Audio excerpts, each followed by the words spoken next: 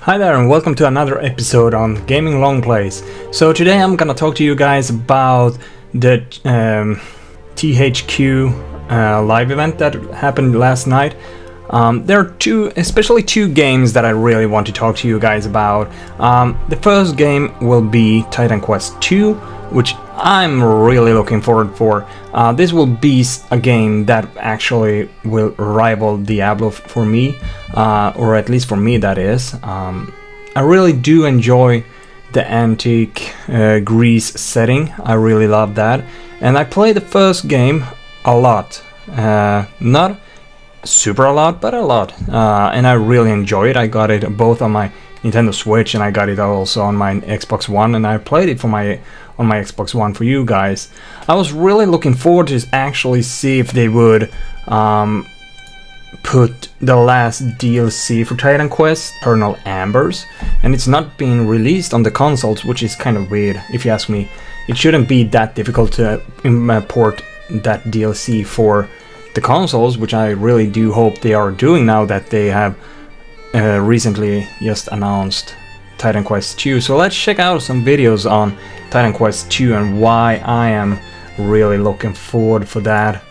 Um, it really does look way better uh, graphical, that is. Uh, but also, it kind of seems like they kept the original feel to the game. Um, I wouldn't call Titan Quest a triple A game. I would probably call it a triple double A game. Um, and it kind of feels, and I, and that's something I really do enjoy with the first one. It, it doesn't feel like super polished, and it do have its shortcomings, which I do enjoy. It kind of we sound weird. I do know what I'm saying right now, but it kind of is something with that game that really got me hooked and I love every single time I played. It's difficult as hell uh, because it's if you do not progress correctly with your character and put the right points uh, where it should belong and all that, the game can really be punishing. And I really kind of hope they kept the keep this in the second game, but we'll just have to wait and see.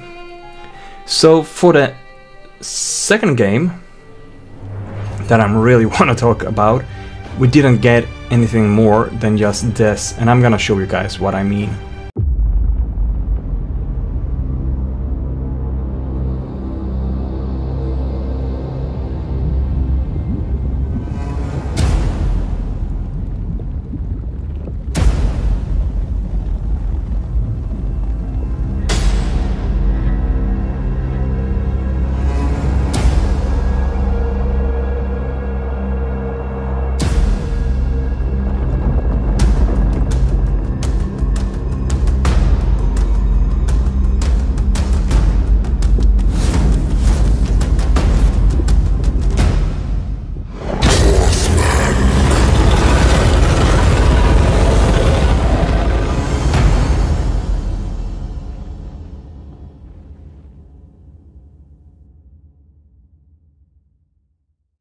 So with this, it's actually confirmed that they are working on the fourth game of Darksiders.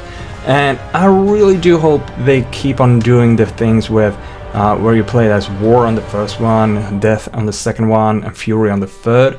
And I really do hope you play as Strife now on the fourth game, because Strife is freaking awesome. I mean, just look out Darksiders Genesis. I really do love that character and his character arc.